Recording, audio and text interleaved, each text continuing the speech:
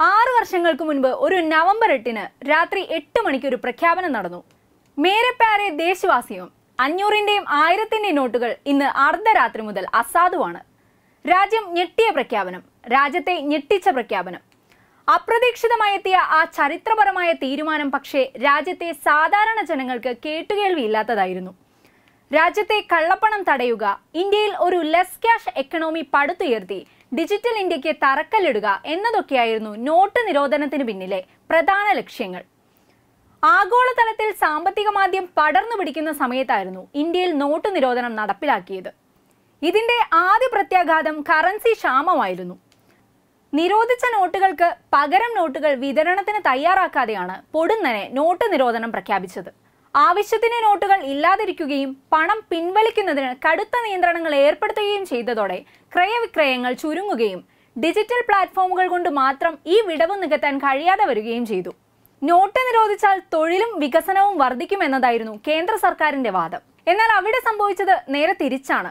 Not നിരോധനത്തിന് ശേഷമുള്ള ആദ്യ സാമ്പത്തിക വർഷത്തിന്റെ അവസാന നാളുകളിൽ സംഘടിത മേഖലയിൽ മാത്രം പതിനഞ്ച് ലക്ഷം പേർക്ക് തൊഴിൽ നഷ്ടമായി എന്നാണ് സെന്റർ ഫോർ മോണിറ്ററിംഗ് ഇന്ത്യൻ എക്കണോമിയുടെ കണ്ടെത്തൽ.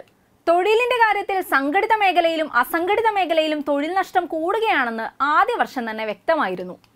പുതിയ തൊഴിലുകൾ ഉണ്ടാകുന്നില്ലെന്ന് മാത്രമല്ല ഉള്ള തൊഴിൽ പോലും നഷ്ടപ്പെടുകയാണ് ചെയ്തത്.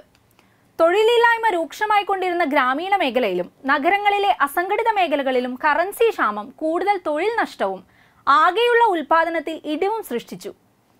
വളർച്ചാ നിരക്ക് കുറഞ്ഞുകൊണ്ടിരുന്ന ഇന്ത്യൻ സമ്പദ് വ്യവസ്ഥയെ ഇത് കൂടുതൽ അസ്ഥിരപ്പെടുത്തുകയാണ് ഉണ്ടായത്. തൊഴിലാളികൾ ചെറുകിട കച്ചവടക്കാർ ഇടത്തരക്കാർ തുടങ്ങിയവരെ കൂടാതെ ചെറുകിട ഇടത്തരം സംരംഭകരും ഈ സാമ്പത്തിക പ്രതിസന്ധിയിൽ വീണു. പിന്നീട് വന്ന ഓരോ വർഷത്തിലും സമ്പദ് വ്യവസ്ഥയിൽ വളർച്ചാ നിരക്ക് കുറഞ്ഞു വന്നതും നമുക്ക് കാണാൻ സാധിക്കും. കാർഷിക വ്യവസായിക മേഖലയിൽ കനത്ത നഷ്ടമാണ് താഴെത്തട്ടിൽ സംഭവിച്ചുകൊണ്ടിരിക്കുന്നത്. മൂന്ന് ലക്ഷത്തോളം ചെറുകിട വ്യവസായങ്ങൾ അടച്ചുപൂട്ടിയതായും പതിനെണ്ണായിരത്തോളം കർഷകർ ആത്മഹത്യ ചെയ്തതായും റിപ്പോർട്ടുകൾ വന്നു. കാർഷിക മേഖലയിൽ ഇന്നും നമുക്ക് കാണാൻ സാധിക്കുന്നത് സമരമുഖങ്ങൾ മാത്രമാണ്. നോട്ട് നിരോധിച്ച് ആറു വർഷം പിന്നിടുമ്പോൾ കറൻസി ഉപയോഗം സർവകാല റെക്കോർഡിൽ എത്തിയതായി ആർ ബി ഐ റിപ്പോർട്ടിൽ പറയുന്നുണ്ട്. നോട്ട് നിരോധനത്തിന് തൊട്ട് മുൻപുള്ള മാസമായ രണ്ടായിരത്തി പതിനാറ് ഒക്ടോബറിലെ കണക്കനുസരിച്ച് പതിനേഴ് ദശാംശം ഏഴ് ലക്ഷം കോടി രൂപയുടെ കറൻസി മാത്രമായിരുന്നു ജനങ്ങളുടെ കൈവശം ഉണ്ടായിരുന്നത്. എന്നാൽ ഈ ഒക്ടോബർ ഇരുപത്തിയൊന്ന് വരെയുള്ള കണക്ക് നോക്കുമ്പോൾ അത് മുപ്പത് ദശാംശം എട്ട് എട്ട് ലക്ഷം കോടി രൂപയായി വർദ്ധിച്ചിട്ടുണ്ട്. നോട്ട് റദ്ദാക്കൽ എന്ന ചരിത്ര പ്രഖ്യാപനത്തിന് ശേഷം മാത്രം വർദ്ധിച്ച നോട്ടുകളുടെ വ്യാപനം ദേശീയ വരുമാനത്തിന് ആനുപാതികമായി നോക്കിയാൽ പോലും അത് രണ്ടായിരത്തി പതിനാറിനെ അപേക്ഷിച്ച് എഴുപത് ശതമാനത്തിലധികമാണ് വർദ്ധിച്ചിരിക്കുന്നത്. നിരോധിച്ച അത്രയും നോട്ടുകൾ ബാങ്കുകളിൽ തിരിച്ചെത്തിയതോടെ കള്ളപ്പണം എന്ന സർക്കാരിന്റെ വാദത്തിന്റെ മുനയൊടിഞ്ഞിരുന്നു. ഇതിനു പുറമെ ഇന്ത്യൻ സാമ്പത്തിക വ്യവസ്ഥയ്ക്ക് നോട്ട് നിരോധനം ഏൽപ്പിച്ച ആഘാതത്തിൽ നിന്ന് ഇനിയും കരകയറാനായിട്ടുമില്ല. നിരോധിക്കപ്പെട്ട നോട്ടുകളാൽ ഇല്ലാതായത് ഭീകരവാദവും കള്ളപ്പണവും ഒന്നുമല്ല. ഭരണകൂടത്തെ തിരഞ്ഞെടുത്ത പൗരസമൂഹത്തിന്റെ ജീവിതങ്ങളാണ്.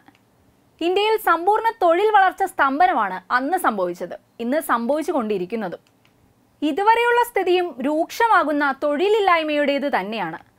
നോട്ട് നിരോധനവും ചരക്ക് സേവന നികുതിയും ഏൽപ്പിച്ച ആഘാതത്തിൽ നിന്നും അടുത്തൊന്നും തൊഴിൽ മേഖലയിൽ ഉണർവുണ്ടാകുമെന്ന പ്രതീക്ഷയും നഷ്ടമായിരിക്കുകയാണ്. തങ്ങളുടെ എല്ലാ അവകാശവാദങ്ങളും പൊളിഞ്ഞതായി സർക്കാരിന്റെ കണക്കുകൾ തന്നെ വ്യക്തമാക്കിയ ഒരു പ്രഖ്യാപനത്തിന്റെ ആറാം വാർഷികമാണ് പ്രധാനമന്ത്രിയും സ്തുതിപാഠകരും ഇന്ന് സ്മരിക്കാൻ പോകുന്നത്.